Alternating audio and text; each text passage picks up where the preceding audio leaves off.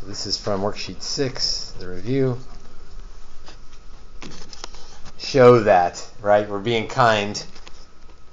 This is really a proof. But since people panic when we say proof, sometimes we avoid it. Um, ooh. Did you have an idea what to do first on this one? Uh, I tried many ideas. you tried many ideas. Did you try multiplying the top and bottom by the conjugate? Yes. Good. You should have tried that. Let's try that.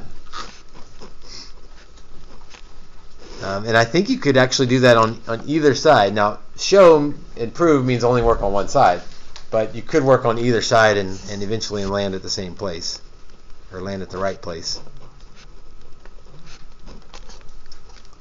So I'm going to multiply top and bottom by the conjugate.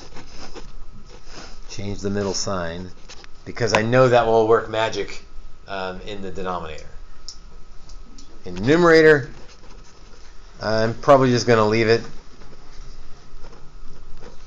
But in the denominator, 1 plus sine times 1 minus sine is 1 minus sine squared.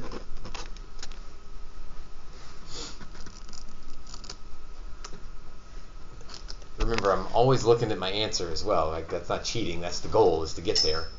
Um, and I see one plus sine on my side and one plus sine on the other side, so I'm, I'm feeling good about that. One minus sine squared. That sounds like I know that sine squared plus cosine squared is one, so I can rearrange that. Cosine squared is one minus sine squared.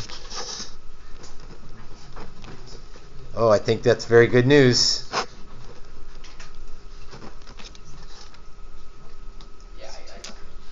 It's easy when I do it, right?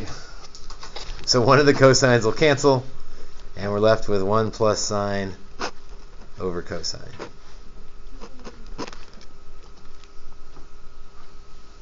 I'm glad you asked that one. That was a conjugate question. There is a, a conjugate question on the test that requires that that sort of thing. You might conceive that if you work the other side, you'd multiply top and bottom by 1 minus sine, and something really similar would happen, and you'd be left with 1 minus sine in the bottom and cosine in the top. So that one is about the same, whichever side you work on. Number 8 is pretty much the same thing as well. Yes, sir? What is the conjugate? The conjugate is where you change that middle sign.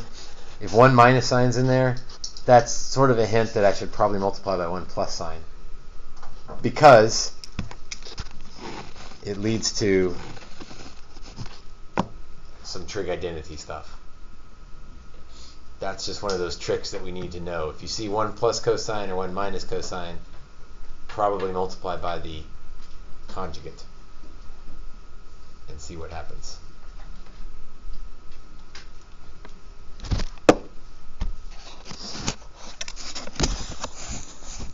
Other odd questions from worksheet 6?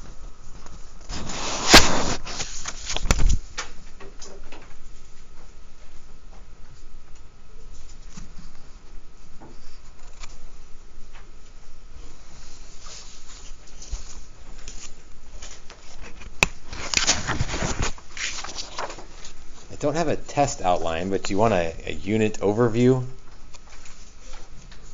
Yes, no, or do you just want to work on the odds? You tell me, do you want to